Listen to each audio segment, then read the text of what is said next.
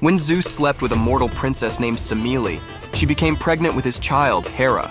Zeus's wife took issue with this, as she usually did, and decided to ruin everything. She sowed seeds of doubt in the girl's mind, and eventually Semele asked to see Zeus in full, to know that he really existed and really loved her. Zeus had sworn an oath to do anything for her, and was bound to do it.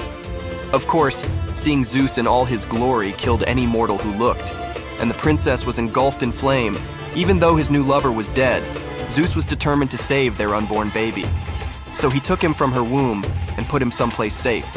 In his own thigh, Zeus managed to keep the baby there until he was big enough to emerge.